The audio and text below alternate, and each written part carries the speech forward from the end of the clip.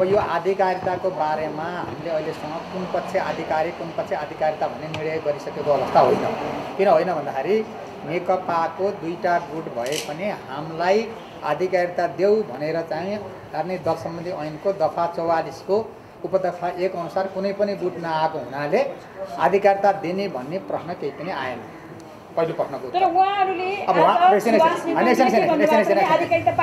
यसो सुभाष नेमाङहरूले के बोल्नुभयो त्यो कुरो अब मलाई थाहा हुने कुरो भएन आएको तर्फबाट मैले यहाँहरूलाई प्रश्न पार्दाखेरि के भन्छु भने कसैले आधिकारिताको बारेमा म आधिकारिक हुँ भनेर दाबी पेस गर्दैन भने आयोगले तँ आधिकारिक होस् भने बाटोबाट तँ आधिकारिक होस् भन्दा त हिँड्दैन नि त्यसलाई आधिकारिकको बारेमा आयोगले केही पनि निर्णय गरेका छैन जुन आयोगको पहिलेको निर्णयमा के निर्णय भएको थियो त भन्दाखेरि उहाँहरूले राजनीतिक दल सम्बन्धी ऐनको दफा एकाउन्न अनुसार हाम्रो अभिलेखीकरण गर्दैन भनेर दुवै पक्षले लेख्नु भएको थियो। हामीले त्यो अभिलेखीकरणमा विभिन्न विधान राजनीतिक दल सम्बन्धी ऐन संविधान हेर्दाखेरि पुस पाँच गते भन्दा पहिले यहाँ पेस गरेको नेकपाको विधान र त्यो विधानमा भएको व्यवस्था राजनीतिक दल सम्बन्धी ऐनमा भएको व्यवस्था अनुसार चाहिँ साबिकै पचहत्तर साल जेठ तिन गते यस निर्वाचन आयोगमा दर्ता भएको पार्टी साबिक पार्टी नै का जे विवरण थिए ती विवरण सही छन् र अरू विवरण चाहिँ हामीले चाहिँ अपडेट गर्न सक्दैनौँ भनेर पठाएको चिठीसम्म हो। अरू तपाईँलाई के छ भने भन्नुहोस्। सर अब अब तपाईँहरूले चाहिँ कुन चाहिँ समूह आधिकारिक हो भनेर चाहिँ कहिले भनेको त्यसका लागि के गर्नुहुन्छ? अब आधिकारिकको लागि त्यसो हुन्छ हेर्नुहोस्। अब आधिकारिक कुन हो भन्ने कुरो अहिलेसम्म हाम्रो निर्वाचन जुन यो ऐनमा राजनीतिक दल सम्बन्धी ऐनमा के छ भनेदेखि आधिकारिताको बारेमा उहाँहरू दुवै पक्षले हामी आधिकारिक हौँ। हामीलाई आधिकारिता चाहियो भनेर ऐनको दफा चौवालिस अनुसार आउँदै नआएको अवस्थामा। अब यो काल्पनिक प्रश्न सोधेर छुट्टिँदै नछुट्टिएको पार्टी नेकपा एउटै छ भने त्यसलाई तँ आधिकारिक होस् भनेर भन्दै आयोगले पार्टी फुटाउन हिँड्ने त होइन नि। दुई सय सतासीजनाको हस्ताक्षर त बुझाएको होइन सुन्नुहोस् न त्यो हस्ताक्षर कुन प्रयोजनको लागि बुझाएको भन्दाखेरि अपडेटिङ गर्न। दफा ऐनको दफा राजनीतिक दल सम्बन्धी ऐनको दफा एकाउन्न अनुसार हामीलाई अपडेटिङ गरिदेऊ। भन्ने हो। तर त्योभन्दा पहिले चार सय एकचालिसजना केन्द्रीय सदस्यको जुन उहाँले पेस गरेको अपडेटिङ छ त्यो त चेन्ज भएको छैन। आयोगले त्यसलाई त चेन्ज गर्न मानेन। त्यसले गर्दाखेरि के छ भने यो आधिकारिक सम्बन्धी कुरा चाहिँ उहाँले विवादै नउठाएको बारेमा हामी पार्टी फुटेको छौँ भनेर कसैले भन्दै नभनेको कुरालाई लिएर मिडियाले वा अथवा त्यसरी सोधेर त्यसको अर्थ त भएन। मसँग एउटा जिज्ञासा ल भनौँ। यसमा चाहिँ खास गरी नेपाल दाहाल पक्षले स्पष्ट रूपमा अहिले पनि चौवालिस अनुसार हामी अगाडि बढ्नुपर्छ दुवै पक्ष बिच चाहिँ छलफल हुनुपर्छ निर्वाचन आयोगले छलफल गरेर निरूपण गर्नुपर्छ भनेर उनीहरूले चाहिँ अडान लिइरहेको अवस्था अब अडान भनेर चाहिँ उहाँहरूले लिएको अडानमा उहाँहरूले केही कुरो माग गर्नुभयो भने प्रचलित कानुनले के भन्छ? उहाँहरूको विधानले के भन्छ?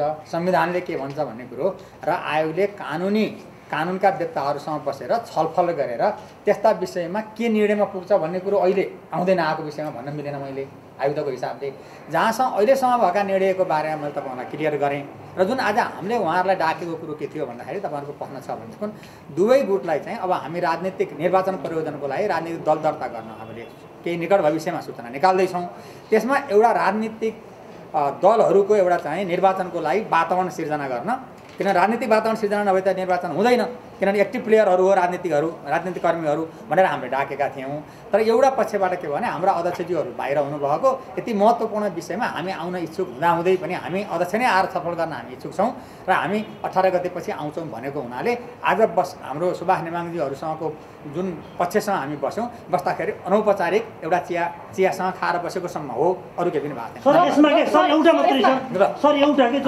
छैन।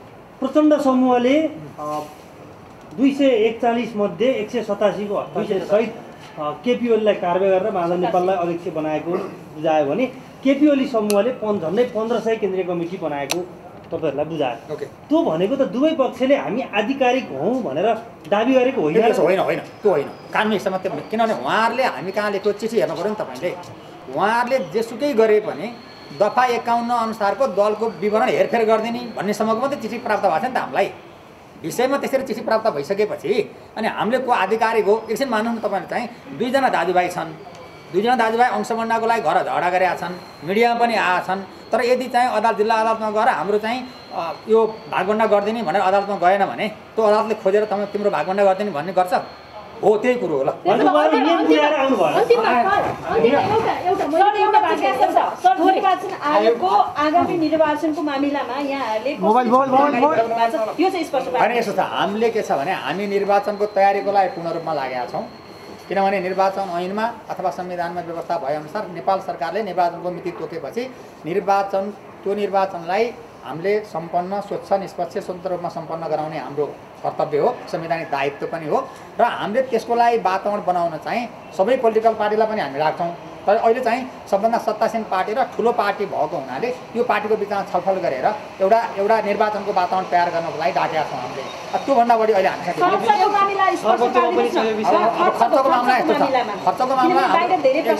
खर्चको मामला के छ भन्दाखेरि हामीले आर्थिक कार्यविधि बनाउँदैछौँ। बनाइसकेपछि हाम्रो आर्थिक अहिलेको अहिलेको हाम्रो जुन ऐन अनुसार के छ भने हामीले आर्थिक कार्यविधि बनाएर खर्चको विवरणसहित हाम्रो कार्यविधि सहमतिको लागि हामीले अर्थ मन्त्रालयमा पठाउनुपर्छ र अर्थ मन्त्रालयबाट सहमति प्राप्त भएपछि त्यो त्यो अनुसारको पैसा चाहिँ हामीले जिल्लालाई पठाउने अथवा निर्वाचनको अरू काममा प्रयोग गर्ने खर्च हुन्छ। अब। आचार संहिताको बारेमा हामी आचार संहिता छलफल गरिरहेका छौँ। हामी आचार संहिता पनि निकट भविष्यमा राजनीतिक दलसँग छलफल गरेर लगाउँछौँ। मेरो एउटा छ अन्तिममा। अब अनुसार आउनु भएको छैन विवाद निरूपणको विषयलाई लिएर भन्नुभयो। अब जुन विवाद सुरु भएको तिस दिनभित्र उहाँहरू आइसक्नु पर्ने भन्ने छ नि त ऐनमा व्यवस्था त्यो अनुसार हदम्याद कटिसकेको अवस्था छ कि छैन कि फेरि तिस दिन यो तपाईँहरूले एकाउन्न अनुसार एक प्रकारले निरूपण गर्यो? अब अब यसो त्यसलाई के छ भने उहाँहरूको दा विवाद कहिले सुरु भयो भनेर हामीले विवादलाई इन्डिकेट गर्ने हामी कट अफ पोइन्ट हामीले तोक्दैनौँ।